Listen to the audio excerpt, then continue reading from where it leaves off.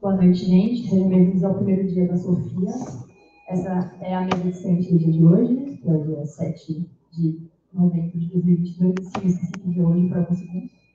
Essa é a 16 edição da Sofia, que tem como tema Filosofia pós-pandemia, Tempo, Política e Educação. E a gente está aqui com dois discentes da Unifesp, o Pedro, que é de Filosofia, e a Júlia, que é de História.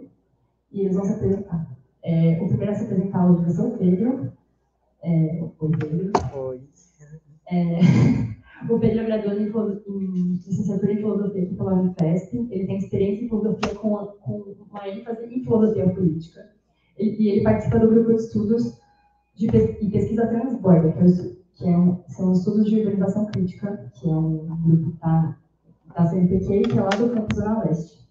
Ele desenvolve a pesquisa dele no campo da geografia e tem ênfase em teoria urbana crítica e neoliberalismo. Agora eu vou passar o microfone para o Pedro para ele apresentar o trabalho dele. E é isso.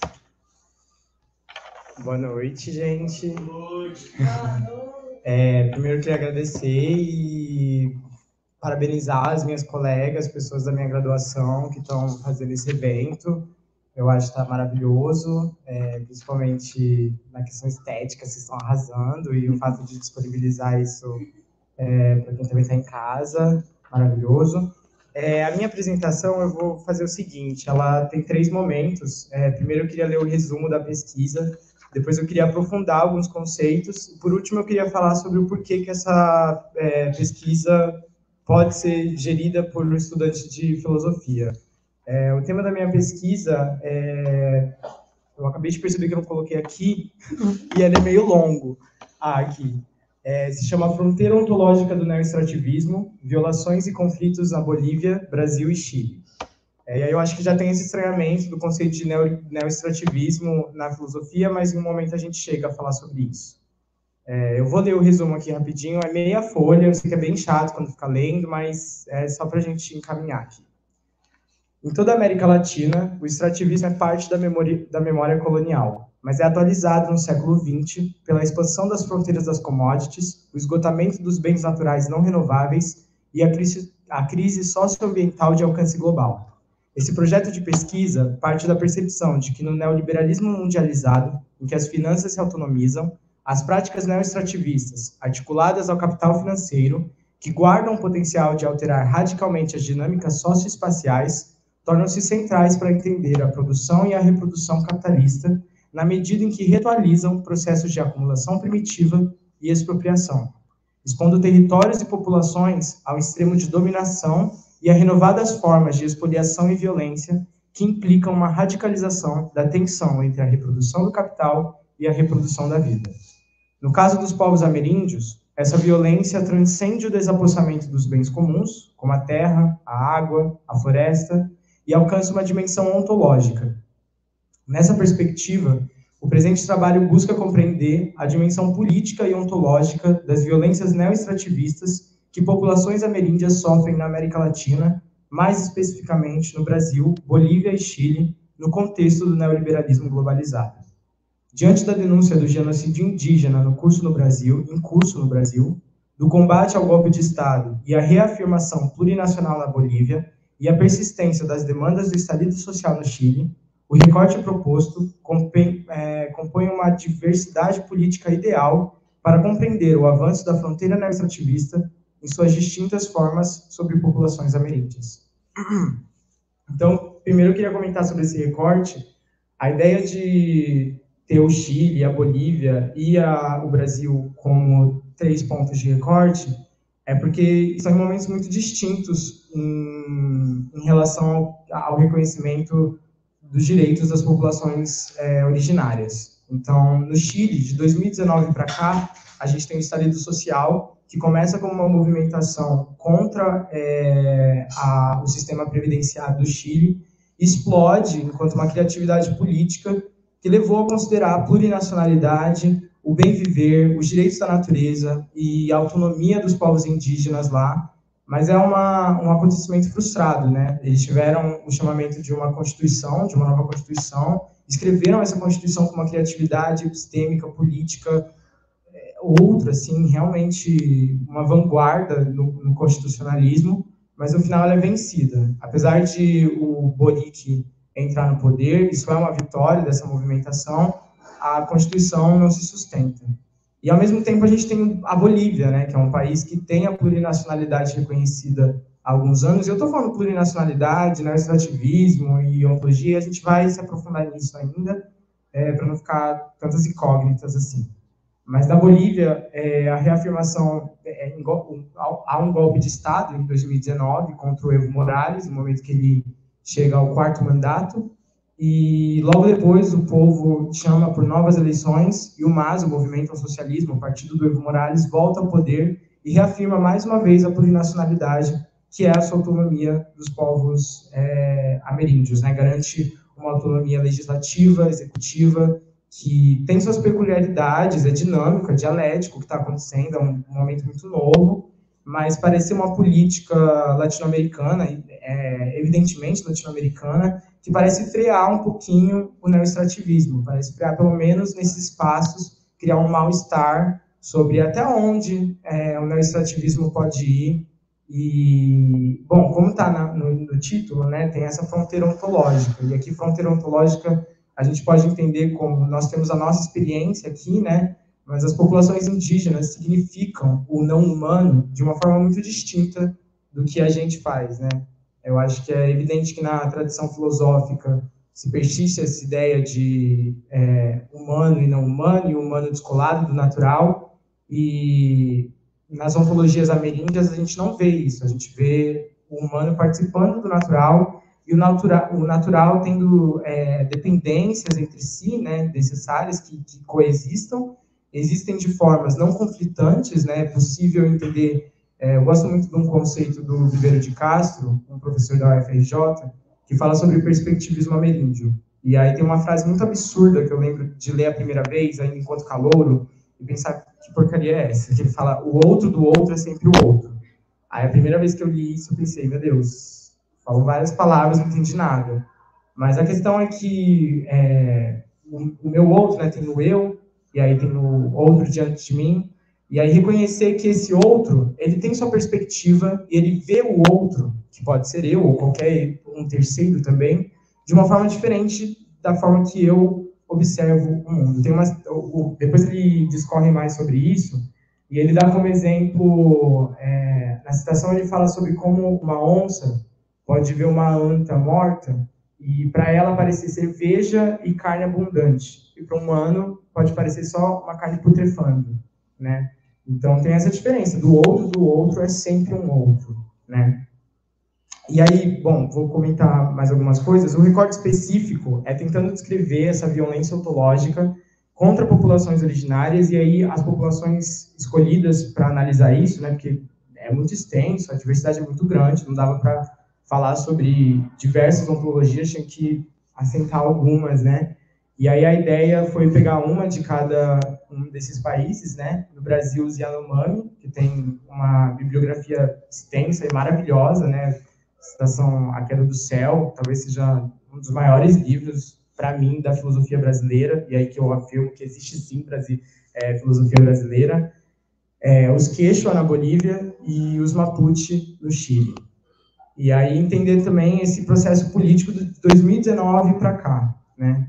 É, tem uma questão de interdisciplinaridade muito grande nessa pesquisa também, né? Eu sou da filosofia, eu estou aqui falando sobre termos que são é, vêm da geografia crítica e, bom, querendo ou não, quando se fala de ontologia, quando se fala sobre a experiência dessas populações, a gente a gente está falando de antropologia também.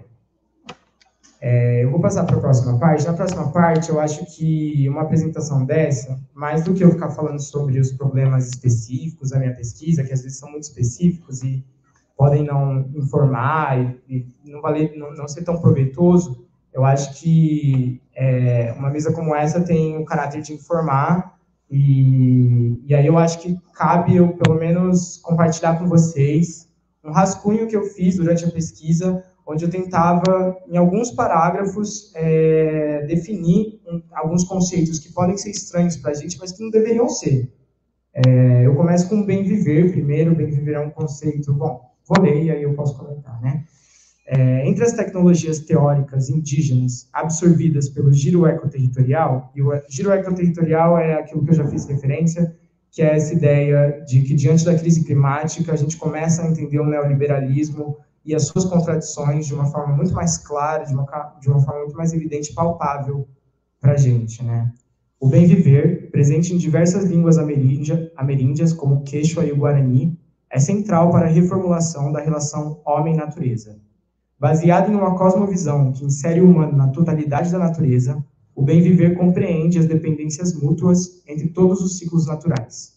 E para além dessas relações de respeito, o bem viver, enquanto parte de uma visão ontológica multiculturalista, prevê os perigos dos conceitos universais, esquemas binários e atribuições conceituais ao outro. Mais uma vez, essa relação do outro e essa ideia de multicultural, né, de que eu tenho a minha cultura, mas o não humano também possui a sua, né, um rio possui uma cultura, ele, ele, ele não deixa de ser a casa de diversos animais, de uma rede, é, de um ecossistema inteiro, e respeitar o bem viver não é só a garantia do bem-estar social, mas também é o bem viver não humano, né, a garantia de que um rio deve fluir límpido, deve, deve fluir é, vivo, cheio de, de, peixes dentro dele, e por aí vai. É, na história recente latino-americana, o bem viver começa a inserir, inserir-se na formalidade política. Em 2008, o Equador torna-se o primeiro país do mundo a incluir, a incluir a natureza como sujeito de direito. No ano seguinte, também através da aprovação de um novo texto constitucional, a Bolívia afirma uma maior autonomia territorial da reprodução da vida humana e dos ciclos naturais através das ideias do bem viver e da plurinacionalidade. É, no parágrafo anterior, eu falei sobre multiculturalismo, e aí também tem mais uma definição sobre o multiculturalismo. Ao buscar compreender as contribuições sociais das ferramentas ontológicas ameríndias, precisamos nos debruçar sobre aquelas que parecem ser compartilhadas entre experiências distintas. E, evidentemente, no seio de grande parte dessas experiências sociais, um certo tipo de perspectivismo parece universal. Como afirma Viveiro de Castro, diversos etnólogos já haviam notado, mas quase todos muito de passagem, que numerosos povos, talvez todos do Novo Mundo, compartilham de uma concepção segundo a qual o mundo é composto por uma multiplicidade de pontos de vista. Bom, acho que isso já está claro, né? Tipo, já comentei isso por cima. E aí, por último, acho que esse termo plurinacionalidade ainda está vago, e aí eu acho que também cabe informar ele, dizer o que, que é isso, né?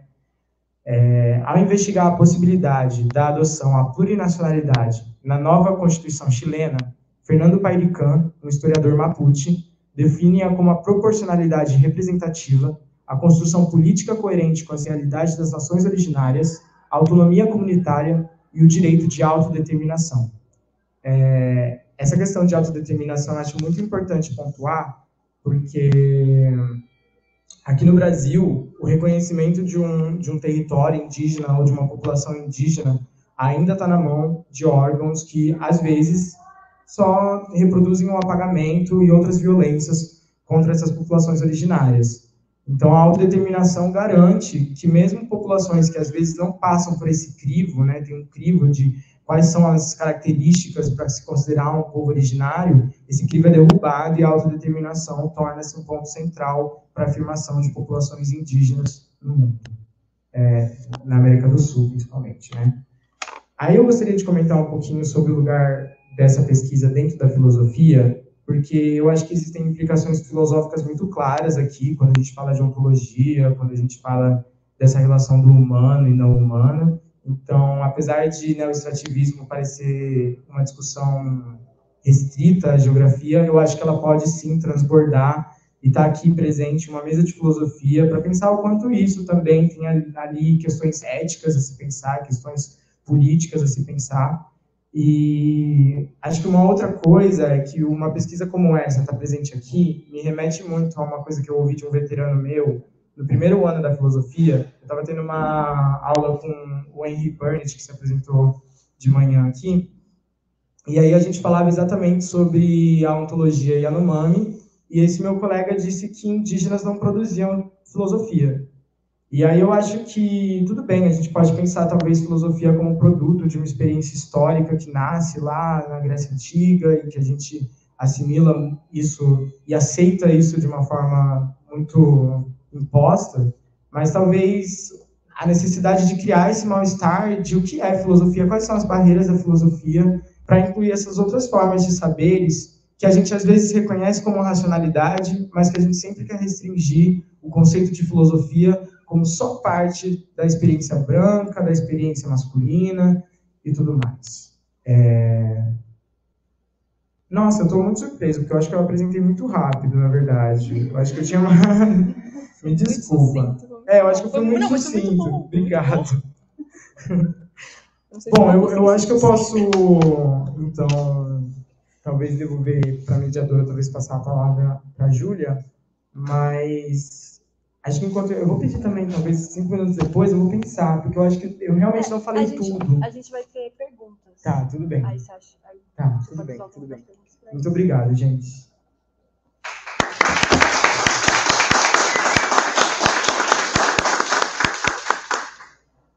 Vamos. Obrigada, Pedro. E aí, agora quem vai se apresentar é a Júlia. Peraí, Ela vai apresentar ela fazer minutos que no... mais pra frente. Senão ela virada.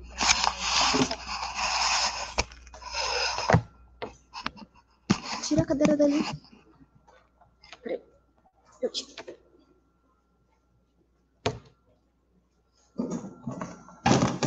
Fazer muito pegar. Não, não. Apresentar ela, pesquisa.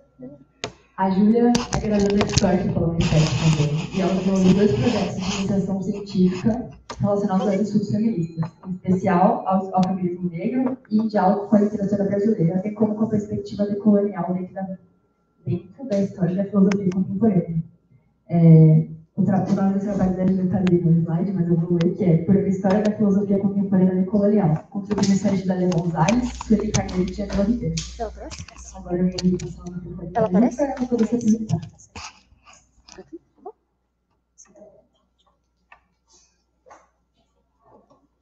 Boa noite a todos. É, queria agradecer primeiramente estar aqui, a presença de todos. É, fiquei muito feliz é, em poder apresentar nessa semana de filosofia está sendo maravilhosa. Tenho acompanhado bastante pelo Instagram, pelos eventos da galera no Aquário. Só agradecer mesmo a organização, vocês foram demais, arrasaram. Ao meu colega aqui também presente, nessa mesa discente. E eu vou falar um pouco sobre o meu segundo projeto de iniciação científica, também tema do meu TCC. É, eu sou da História, é, entrei em 2018, mas é, meus campos de estudo são totalmente transdisciplinar. Eu parti primeiramente da literatura, é, depois estou indo para a filosofia, e aí eu acredito que é um caminho que a gente vai e só continua. É, eu vou falar um pouco da minha pesquisa, que é por uma história da filosofia contemporânea descolonial. Contribuições de Lélia Gonzalez, Tibi Carneiro e de Jamila Ribeiro, que foi orientada pela professora Cristina Johansson também, presente aqui. Obrigada, professora. É, eu vou começar falando um pouco sobre a minha trajetória, porque é, eu acredito que as nossas motivações, o que a gente escreve, está muito relacionado a isso. É, quando entrei na academia, eu me senti muito deslocada. É, eu sentia que não era um lugar para mim, era um lugar que eu não me encontrava, até eu conhecer teóricas do feminismo negro, até eu, me encontrar, até eu ver a escrevivência e ver um lugar que ali eu poderia contribuir para uma mudança social, em que eu me enxergava naquelas mulheres e que eu não vi esse campo na academia, mas acabei vendo que são é, um tema tão contraditório assim. É, eu vou ler o meu resumo para situar um pouco a minha pesquisa. E aí, a partir disso, eu vou trazer o, a, a, divisão dos tópicos que eu abordei nela, é, a partir dos conceitos da Lélia Gonzalez, Felipe Carneiro e da Djamila. E, e é isso, né? O resumo para situar um pouco. É, eu procurei situar a necessidade de uma história da filosofia, é, uma história da filosofia descolonial dentro do campo da história da filosofia contemporânea. O meu recorte foi trabalhar o pensamento dessas três filósofas a partir das suas singularidades teóricas e principalmente atra através dos conceitos mobilizados por elas. né? É, pela Lélia, a biblicanidade, pela sua epistemicídio, pela dinamia lugar de fala.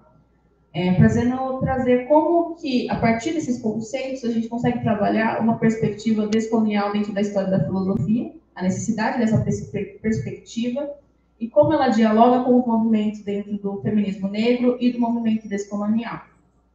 Deixa eu passar, por favor. Então, inicialmente, eu parto pensamento decolonial e feminista negro. O que a história da filosofia tem a ver com isso?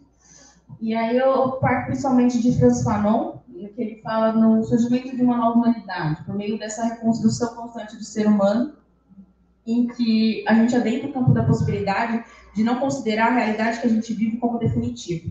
A gente está sempre procurando algo que melhore a gente como ser humano e que busca reconstruir essa humanidade né, em meio a, a, essa filosofia tentando desumanizar ou não tenta é, nos ver como sujeitos plenos, sujeitos como oniscientes. E aí eu, eu fiz essa frase aqui no professor é, é, presente em é, pele negras, máscaras brancas, sem o nome da inteligência e da filosofia, que se procura a igualdade dos homens, é também o nome delas que se decide pelo extermínio desses mesmos homens. E traduz um pouco dessa, dessas raízes da história da filosofia em que sujeitos negros, indígenas não têm tido a possibilidade de expressar as suas visões e se situar como sujeitos. E aí eu parto. Como que é construído um não lugar, mas como que esse não lugar ele é situado ao mesmo tempo? É, e como a partir de um universalismo abstrato, a partir de uma geopolítica específica, que não se diz ser específica, é construído uma forma de filosofia que acaba é, apagando outras formas sobre essa filosofia. Então, eu, eu trago um pouco dessa tradição marcada por um lugar universal, de um entendimento hegemônico e um dado espaço geográfico comum. E aí essa tradição caracterizada por dualismos e principalmente o que eu trabalho é essa questão da ruptura. Como a experiência ela não é vista como uma forma de conhecimento, não é uma forma de conhecimento legítimo. E como essa falta de legitimidade sobre esse conhecimento que é produzido na experiência, que é produzido fora da, da academia propriamente, ele ele, ele não é menos conhecimento, ele não é conhecimento. Na verdade, ele também é um conhecimento, e ele parte de uma situação como todos os conhecimentos partem, como todas as pessoas partem de uma situação. E aí trouxe aqui algumas características principais desse não lugar, que a gente vê nessa história da filosofia hegemônica, né? que é a desconsideração dos lugares epistêmicos ao pontuar a sua filosofia universal, ao se denominar ausente essa relação da corpo política, dessa relação é, presente entre corpo e pensamento, né, é sempre mantida entre dualismos, é, conexão entre esse não lugar com a posição de um poder empreendida pelas nações europeias durante as expansões coloniais, e também uma prática relativista, que diz é, como se soubesse todo o conhecimento do mundo, né, ao mesmo tempo que não define de onde que sai esse conhecimento né? É falar do ser humano, mas nunca diz de onde vem esse ser humano, né? É um ser humano abstrato. Por favor?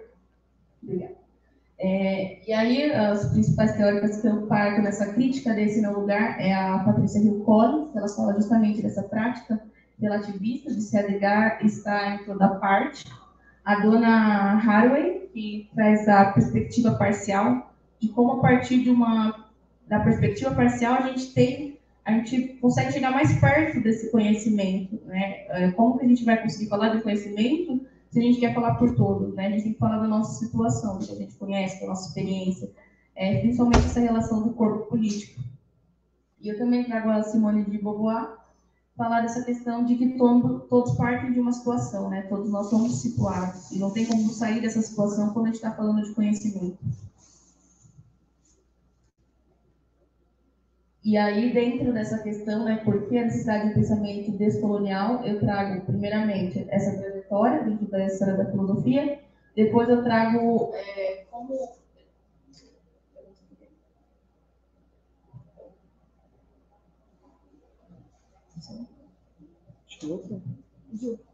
Um pouco na frente do. É, tipo, coloca essa cadeira um pouco mais pra frente. Tá Isso. na linha da. Agora, foi ah, por causa disso, né? gente? Eu nunca pensei que assim. Principalmente pandemia, tudo online. e aí, dentro dessa questão, porque uma, uma história da filosofia contemporânea descolonial, eu trago a contribuição do feminismo negro para essa descolonização do conhecimento, principalmente das partidas teóricas que eu trago. E aí eu trago o feminismo negro, interseccionalidade e a demarcação do eu. Porque, principalmente quando a gente vai trabalhar com o feminismo negro, não tem como a gente partir desse lugar abstrato. A gente sempre parte de uma situação, a gente sempre pa- parte de uma interseccionalidade de opressões. E aí eu trago a importância do, do feminismo negro para a gente pensar nessa descolonização do conhecimento, a gente pensar em um eu interseccional que é capaz de trazer essa possibilidade de descolonização né, e abrir a, o campo da filosofia também. E aí eu trago algumas, algumas contribuições né, desse feminismo negro, principalmente marcado ali no, na segunda metade do século XX. Que ele recalculou o ponto de vista do lugar epistêmico, ele é um importante movimento para a quebra desse sujeito e do conhecimento universal, e demonstrou esse sistema de poder como eles são marcados pela interseccionalidade e também a amplitude da agenda política empreendida por eles. E também, principalmente, os questionamentos que estão muito relacionados dos movimentos feministas negros com a perspectiva descolonial, que eu trago no meu trabalho. Teremos sempre que nos exportar aos mesmos autores e aos mesmos clássicos para interpretar e compreender a nossa realidade? Será que, paralelamente ao que costumamos chamar de clássicos e que compõem o canone acadêmico, não tivemos outras produções de caráter mais crítico e analítico por diversos motivos e até pela luta por hegemonia no campo do conhecimento foram esquecidos, digitalizados e relegados ao ostracismo?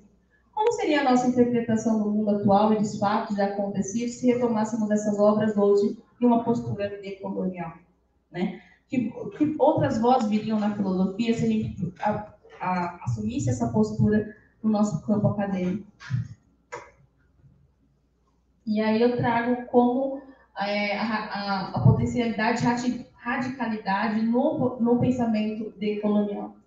Como os conceitos de colonialidade, decolonialidade, principalmente dentro de epistemologias do Sul, marcam uma zona fronteiriça que a gente é, não fica só preso né, na visão hegemônica, mas a gente vê as resistências que partem na história da filosofia e nos diversos campos do conhecimento outras vozes e outras perspectivas que têm sido caladas até então. E aí, agora partindo mais propriamente das autoras, Sueli Carneiro e a, Lélia Gonzalez, é a segunda parte da minha pesquisa é entre opressões e resistências, epistemicídio e a metricanidade. Eu trago a partir do conceito das duas, é, como a gente consegue encarar o, o, conhecimento que tem sido renegado através dessa prática epistemicida, e ao mesmo tempo que a gente tem outras vozes, outros, outras formas de ver isso através da metricanidade. E aí eu tento trazer um caráter meio biográfico das duas, atrelado com os conceitos, como eu também trago na minha pesquisa, acredito que não, não tem como desassociar uma coisa da outra, e principalmente para afirmar essa questão da importância da experiência quando a gente parte do conhecimento. Que a epígrafe, mas pode passar, por ser mais direta no conceito. É, ela parte do conceito de epistemicídio a partir do Foucault, é, o conceito de, de dispositivo do Foucault, né, que fala das relações dos saberes que, que lutam pela, pela hegemonia em si, atrelada a um dispositivo de racialidade. Como que a disputa de poder está atrelada com uma forma empreendida na, na colonialidade, é, de divisão racial que temos, é, criou efeitos ontológicos, como um pouco que o Pedro falou, essa questão do eu e do outro, e como esse outro é criado a partir de um ser absoluto. Em, em um resumo, né, é um ser que constrói não ser, né, ao subtrair dele os conjuntos de características que afirmam o ser. Né, porque a própria construção desse não ser afirma e sustenta o ser. Então, é como é a construção de um eu, desse sujeito universal, se constrói a partir da negação do outro. e como os dois se mantêm nessa relação de eu e não eu, o outro, né, não sujeito. E, e como isso está marcado na história da filosofia, esse epistemicídio, né? Então, as contribuições é justamente dessa crítica ao, ao conhecimento que tem, tem, sido produzido até então, e, mas como agora como possibilidade a partir do conceito de, da Lélia Gonzalez. Só, por. Ah, aqui é só. Pode passar. É, a partir do conceito de americanidade, como que mesmo em meio a esse epistemicídio, nós tivemos vozes existentes, nós tivemos perspectivas que a gente pode se dizer descoloniais nessa história da filosofia. O conceito que eu trago é de americanidade. Né? Que é essa relação entre nós, o continente americano, e os nossos ancestrais, advindos tanto dos indivíduos trazidos do continente africano quanto dos povos autóctonos que ocupavam as Américas antes da colonização, na tentativa de elaborar um sistema ético etno-geográfico comum, que é desenvolvido por um sofisticados sistema de dominação propiciado pela colonização. É como que, a partir do racismo, se construiu um movimento também de resistência, a partir desse conceito de americanidade, como nós, americanos, tanto escravizados dentro da África, quanto as populações autônicas, autóctones, populações indígenas, desculpa, é, eles construíram formas de resistir, principalmente a partir dessa categoria político-cultural da, da, da Lélia Gonzalez, a americanidade, ela vê como que a cultura é, principalmente produzida pelos afrodescendentes, foi resistente. Um dos principais exemplos que ela usa é a relação dos quilombos, é a relação da, do Zumbi dos Palmares, mas também da Nani, na Jamaica, uma figura de resistência que sobreviveu através do que ela fala da memória, né? Porque a memória, ela, ela nos traz o que a consciência tem que esconder. Então, como a partir da, memória, da oralidade, das nossas experiências, esse conhecimento resistiu. Pode passar, por favor. E aí também trago o conceito de lugar de fala da Djamila, que ela traz como a partir dessa, dessa relação se constrói esse outro, dessa resistência, a importância da gente trazer o nosso lugar social é, e quebrar esse silêncio estrutural, que não quer dizer que é, em vez de ser o oprimido virar o opressor, mas é ter essa relação de sujeito que não exista só para mim, mas também exista para o outro, a nossa voz não seja silenciada. Pode passar, por favor. Pode passar.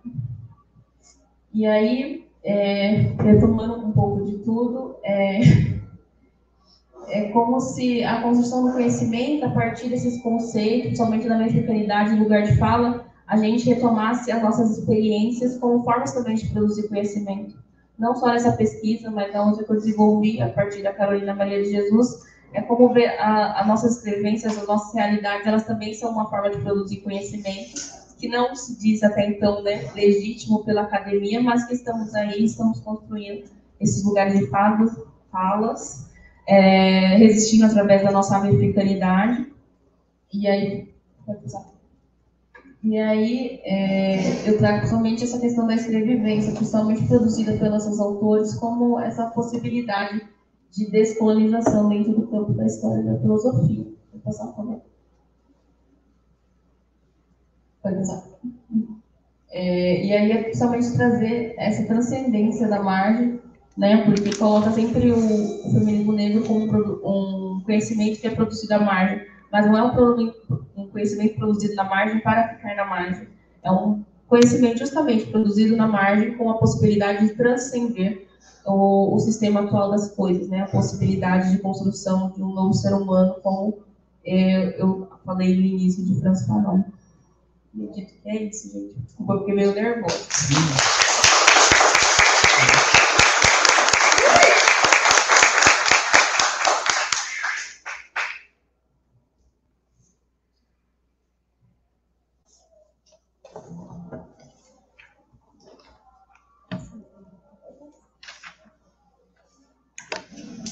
Oi, gente. Agora a gente vai ter uma rodada de perguntas. Primeiro eu vou perguntar para o Pedro se a gente tem uma coisa que dizer. Não, acho que não. Acho... Beleza. Nossa, acho que as perguntas são contemporâneas. É. É, a gente vai ter uma rodada de perguntas, vão ser três perguntas aqui no presencial e três online, é isso, né? E aí, estou chamando tanto o pessoal do online quanto do presencial para se inscrever para fazer perguntas. Quem tiver aqui quiser fazer pergunta, levanta a mão. Se tiver aí, alguém, show de mão. E é isso. É... A gente vai estar passando né, pelo presencial e no online já está passando. Tá passando. Tem pergunta aqui já. Pode passar pra lá. Tá, pass... tá aparecendo? Tá aparecendo? Tá, só pergunta que você quer passar, quer trocar depois? Tá? Agora tá mais? Peraí. Vou ficar juntinho. É, boa noite, gente. A gente teve duas, três perguntas aqui pro Pedro, mas o meu acho que cabe até para os dois responderem, foi a Fátima que fez. Mas vamos começar com a pergunta da Giovana. Giovana Nonato perguntou. Ela falou, na verdade, né? Acredito que a filosofia brasileira ainda tem muito a aprender com os povos ameríndios. É, você acredita que existe um processo no meio acadêmico quanto à disseminação dessas ideias? Ah, eu acho que sim, completamente, mas é tão tardio, né? Tão, parece ser tão tardio como isso parece só entrar agora na pauta, assim, eu não sei, né? Eu sou graduando, eu estou na primeira graduação, então, mas parece que é uma novidade, né? Parece que, tipo, a gente chegou aqui e parece que é um assunto na moda por um momento, e parece que é só agora, assim, né? A gente vê os, os nossos professores comentando da trajetória deles e como foi uma trajetória masculinizada, elitista, universal, pautada nessa experiência de que a filosofia é pensar em alemão, é pensar em francês. E aí, finalmente, a gente vê, eu acho que essa institucionalidade que eu estudo demonstra que, apesar de ser tardio, está acontecendo a possibilidade de a gente ter uma mesa aqui. Um, primeiro, um evento organizado majoritariamente por mulheres, e também uma mesa que está falando aqui sobre duas perspectivas é, não ortodoxas da filosofia, então, acho que sim, eu, eu, eu, eu, eu gosto de ser esperançoso, pelo menos. A gente teve também uma pergunta da Beatriz Vieira, que ela falou, Pedro, por que o constitucionalismo chileno acabou não vingando? Gente, essa foi a minha irmã, ela ficou a semana inteira. eu queria saber o que ela podia perguntar. E realmente, graças a Deus, porque eu não comentei sobre isso, né? Então acho que é bom eu comentar sobre isso. É, como eu disse, a movimentação do Chile começa é, por essa questão previdenciária e ela implode em diversas é, reivindicações muito criativas e que buscavam um, uma, um exercício do Estado, da política, muito radical.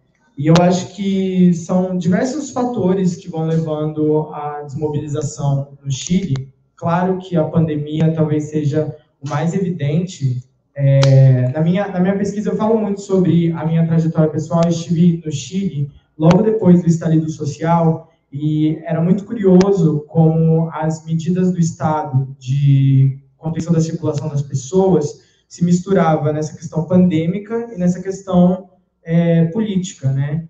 Então, bom, eu acho que, eu não sei se vocês já viram em rede social o que aconteceu no Chile em 2019, foi realmente muito radical, foi de botar fogo em prédio, foi de destruir o, o patrimônio público mesmo, com esse caráter de remontar o país, de reconstruir um, uma outra ideia de país.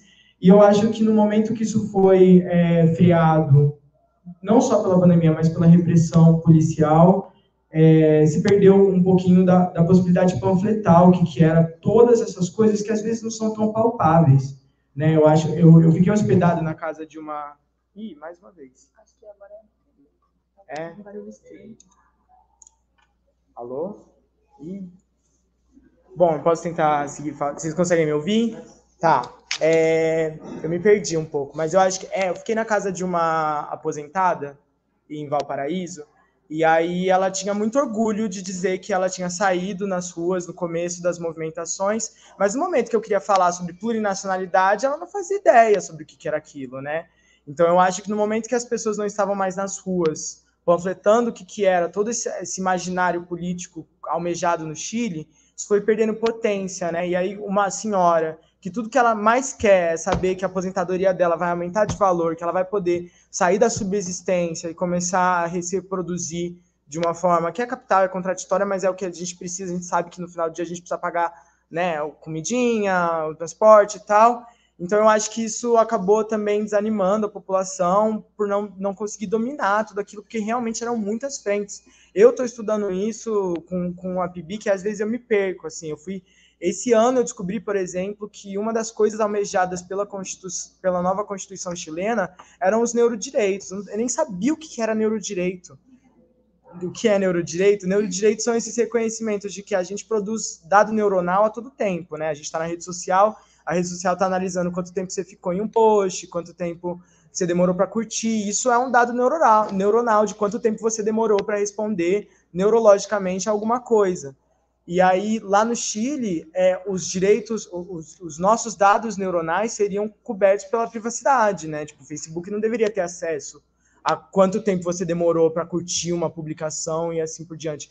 E aí, isso era uma coisa tão longe da minha pesquisa, mas que de certa forma dialoga por conta dessa criatividade política, que eu falei, caramba, nem eu que estou tentando ler ao máximo sobre isso sabia sobre isso. Então foi um movimento muito diverso, eu acho que isso é maravilhoso, tem que ser diverso mesmo, mas isso acabou tornando muito imprático garantir que da Patagônia ao Atacama as pessoas entendessem as, as diferentes reivindicações que ele tinha. Eu acho que é isso. Aí, por fim, a gente tem mais uma pergunta aqui, que é da Fátima Rocha. Ela perguntou, Pedro, qual a possibilidade da plurinacionalidade no Brasil também?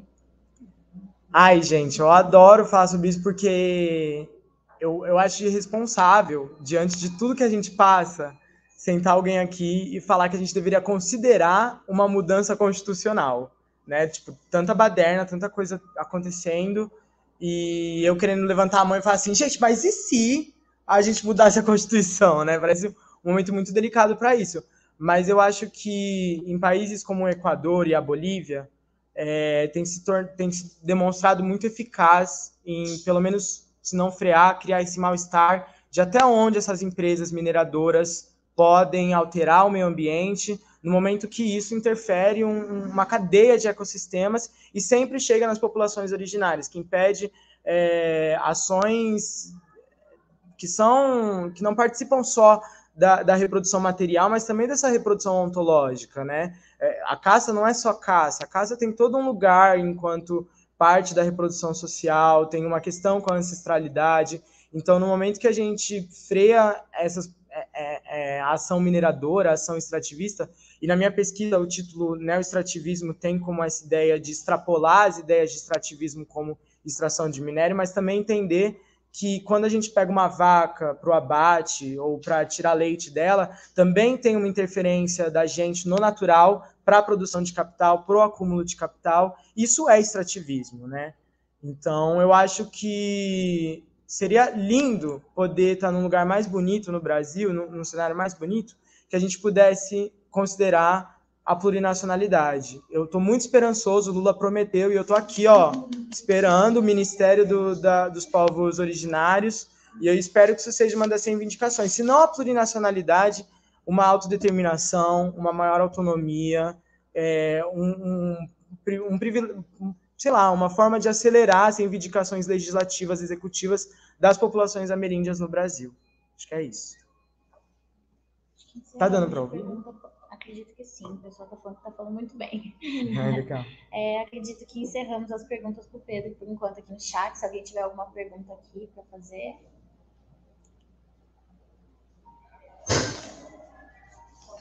Claro. É, então, eu queria fazer com você. Ah, Bem, boa noite. Então, é, eu, eu achei muito interessante a conexão que você fez E acho que, tudo se encontra na questão do lugar de fala. Porque é uma, uma discussão muito difícil, é, talvez porque esse, é, a gente conheça mais na rede social esse termo. De alguma uhum. maneira, as pessoas parecem que chegam e falam desse tema porque vi na internet um blog. Isso é um pouco complicado porque a gente não faz filosofia no blog, a gente não faz em 140 caracteres de Twitter. E, e quando a Jamila trouxe, a gente publicou aqui uma coleção dos serviços rurais, é, é um livro curtíssimo, assim, que dá para ler em dois dias, mas ninguém se propõe a ler o livro, né? Mas é muito complicado porque isso é completamente distorcido, a ideia de lugar de fala, quer dizer, como se de alguma maneira fosse então a inversão, como você disse, né? Quer dizer, agora já que eu não sou prima, então você é o pessoa que eu estou falando, Uhum. Pessoa negra, ou enfim, qualquer outro lugar de oprimido, né? E eu queria te perguntar se você, de alguma maneira, é, como que você acha que é uma forma de explicar isso também, de trazer essa discussão?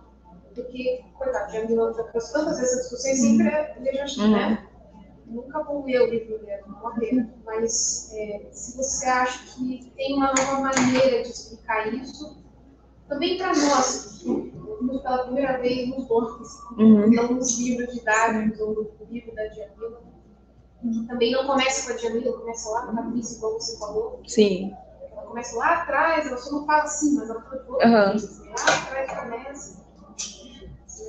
É, o que, o que a Djamila faz, né, né, trazendo um lugar de fala, é trazendo isso para um campo mais popular, né, mas não é um termo da Djamila, né, não, é uma discussão que começa na internet, é uma, uma discussão que já tem uma trajetória e está muito relacionada com o pensamento decolonial, que é, não é a mesma coisa, né, em termos teóricos, mas está muito ligado com essa questão do lugar de enunciação, né, que é, a partir desse lugar de enunciação a gente vê os nossos lugares dentro do sistema atual das coisas, de opressão, de colonialidade, a gente tenta reser- reverter isso, principalmente daqueles que mais sofrem com esse sistema, né? A partir dessa posição que a gente vê de insubmissão contra esse sistema, quanto a gente co- consegue aprender a partir desses estratos mais baixos das- da, da sociedade, né? Até então. E, e- eu acredito que realmente as críticas que fazem a Jamila nunca leram o, o livro, né? Porque o livro é, é muito acessível, assim, e, e é um debate importante. É, eu acredito que quando, a partir do momento que a gente tem contato com essa questão de lugar de fala, a gente. Ah, ah, voltou? Ih, acho que não voltou, não. Voltou? Voltou? Voltou. Voltou? Essa, ou só a minha voz? Eu acredito que a gente consegue trazer é, de uma forma mais popular, ou até para o campo da academia, que é muito importante, que é, não é nem é tanto, acho que é através do termo, mas é a questão da situação. É a gente entender ah, as nossas situações e não desconsiderar elas quando a gente traz o conhecimento. Então, a partir do momento que eu estou falando de um lugar de fala, é uma, uma forma de tentar reverter o sistema atual das coisas, mas não é na questão de oposição.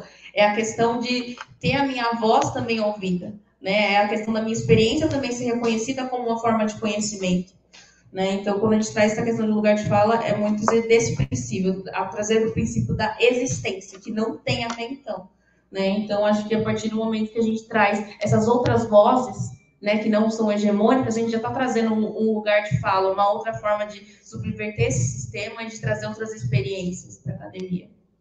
Não sei se respondi, mas... Ainda não temos mais pergunta no chat. Se alguém mais quiser fazer alguma pergunta aqui, Por favor. Comentários também, né? perguntas, comentários, qualquer coisa, gente, que vocês quiserem falar.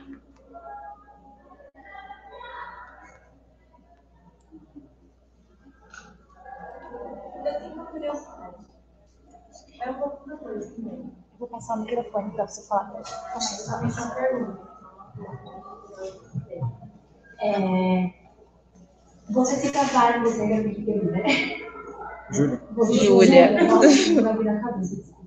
Eu não sei, Júlia cita vários autores e autoras. Uhum. É, e eu queria saber quais deles ou quais delas você sentiu maior identificação. Qual deles você, delas, delas primeira, primeiramente, né?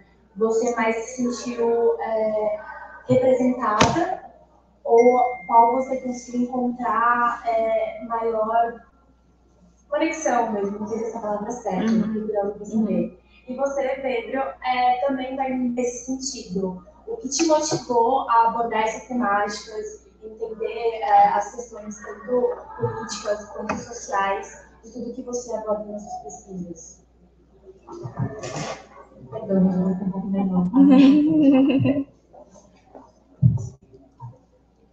Ah, nem me fale. Eu acho que foi a apresentação mais fiquei nervosa. A professora Isilda já me viu apresentando.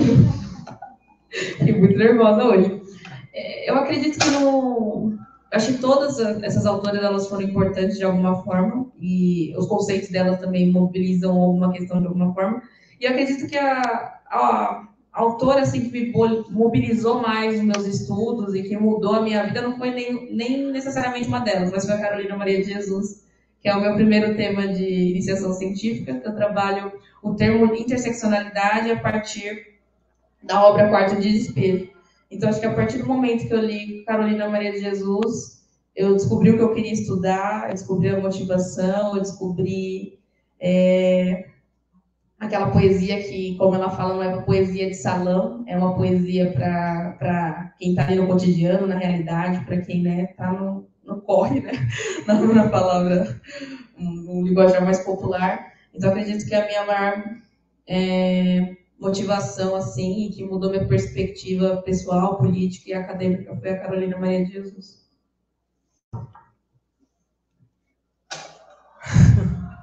É... Ah, eu acho que primeiro tem, tem um podcast que eu ouvi, se chama Kipus.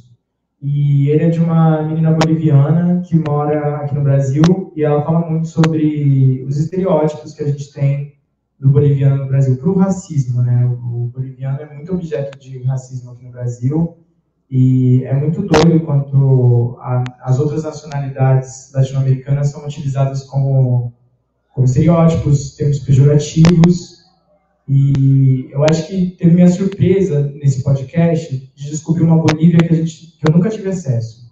Uma Bolívia que é o país mais indígena de toda a América do Sul, que tem uma alteridade na reprodução social que eu acho que a gente não observa em nenhum outro lugar na América do Sul, assim, sei lá, tem McDonald's aqui, tem McDonald's em Santiago, tem McDonald's na, em Buenos Aires, na Bolívia não tem, sabe? É, é outro lugar mesmo.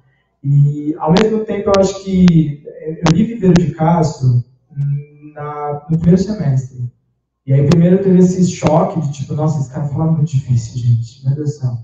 Mas aí, ao mesmo tempo teve esse despertar de é, ser um cara não indígena que reconhece o quanto as pautas indígenas são pautas dos não indígenas também. Então eu acho que tem isso, assim, tipo, de...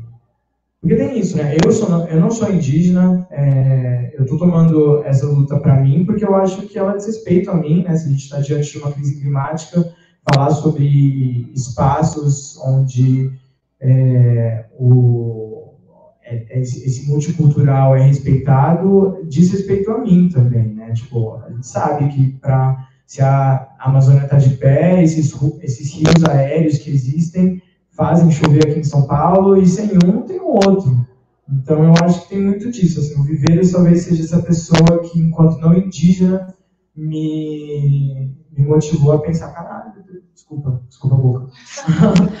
Mas, caramba, é, eu, eu, preciso me preocupar com isso também, né? Tipo, é uma questão indígena, mas também é do nome indígena. Acho que é isso. Ah, não sei se tem mais perguntas, mas eu gostaria de falar uma coisa. Pode falar.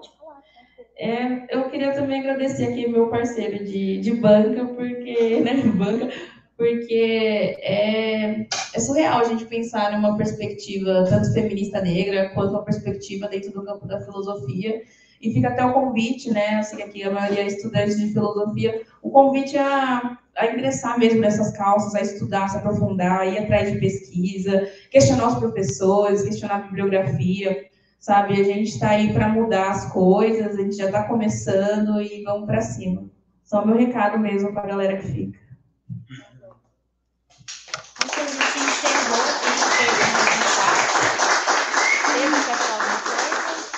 Ah, eu também quero agradecer a ajuda. Não, falar que eu acho que muito bom estar numa mesa. Eu tenho duas experiências muito frustradas no Congresso da Unifesp, vamos fofocar um pouco. É, onde eu senti que eu não pude dialogar de fato com outras pesquisas e é tão gratificante, infelizmente, chegar no quarto ano e ter essa sensação só agora, mas estar numa mesa que eu olhar para a sua pesquisa e falar assim, gente, a gente está, ah, tudo bem, são recortes diferentes, mas a gente está falando de uma coisa muito parecida, assim, né? Tipo, tem um diálogo aqui, tem uma reivindicação, uma reivindicação que une a, as duas pesquisas. Acho que, gente, para, parabéns mais uma vez para a organização da Sofia. De saber juntar as pesquisas de uma forma que elas possam, de fato, dialogar. A universidade tem que ser isso, eu acho que enquanto graduando eu já posso dar pitaco de como a universidade deveria ser, e eu acho que deveria ser isso, criar mesas que a gente possa, de fato, dialogar e informar, não só falar sobre coisas muito cabeça, assim, tipo, muito o problema específico da minha pesquisa, mas mesmo falar sobre coisas mais palpáveis. Acho que é isso.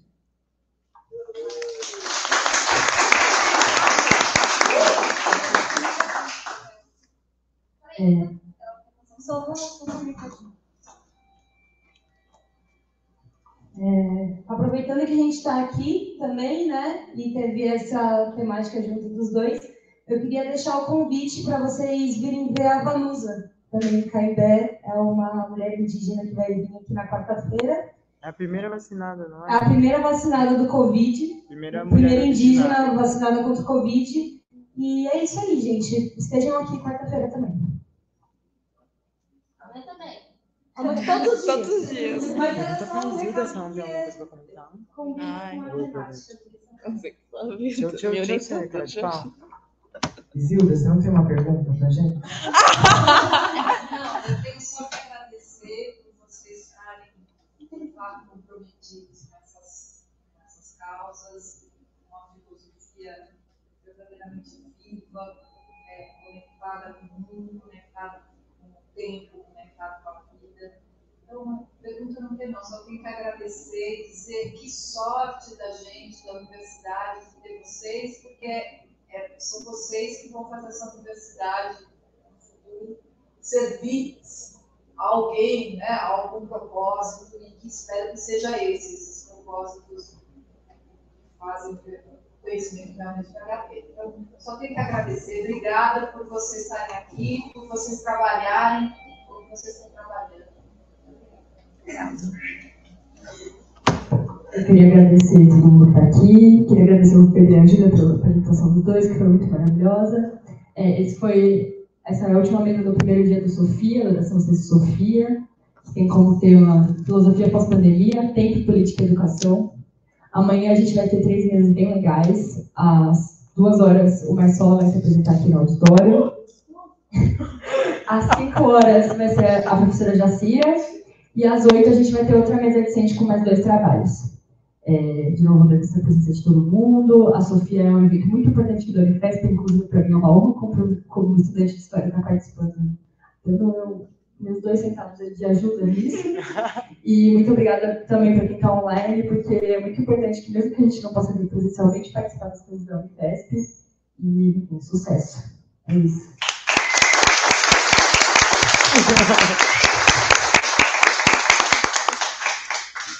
Ah, e meus parabéns pela organização do Sofia, que está impecável esse evento, tá?